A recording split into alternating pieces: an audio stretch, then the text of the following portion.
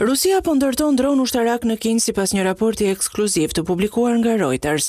Dronët janë bërë shtylla kryesore e konfliktit të shkaktuar nga pushtimi i Ukrainës nga Rusia në shkurt 2022. Kievi javët e fundit ka intensifikuar ofensivën e tij me dronë duke i dërguar ata thellë në territorin rus për të marrë në shënjestër infrastrukturën dhe depot e furnizimit. Administrata e presidentit amerikan Joe Biden ka sanksionuar ndërkohë disa kompani kineze që thotë se kanë qenë të përfshira në furnizimin e Rusisë me komponentë dronësh dhe mallra të tjerë të lidhur me ushtrinë. Megjithatë, kjo është hera e parë që Kina raportohet se i jep Rusisë armët ajrore në tërësinë e tyre. Reuters citon dokumente që ka shqyrtuar si edhe dy burime nga një agjenci e inteligjencës evropiane që flisnin në kushte anonimiteti.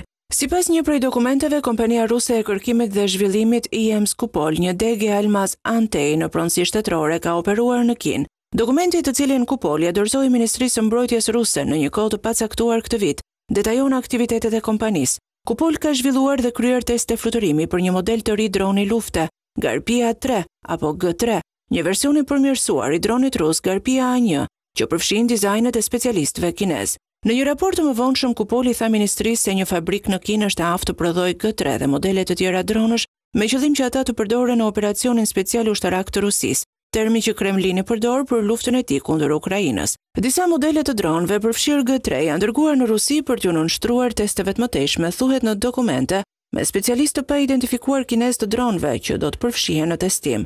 Burimet e inteligjencës të cituar nga Reuters thanë se dokumentet shënuan provat më bindëse që nga pushtimi rus se dronë ushtarakë po prodhoheshin në Kinë dhe po i dorëzoheshin vendit fqinj. Kina ka mohuar dërgimin e mallrave ushtarake në Rusi, Megjithatë, besohet se ajo është burimi i komponentëve me përdorim të dyfishtë për mjetet ruse të luftës, si dronët e tij Orlan dhjetë.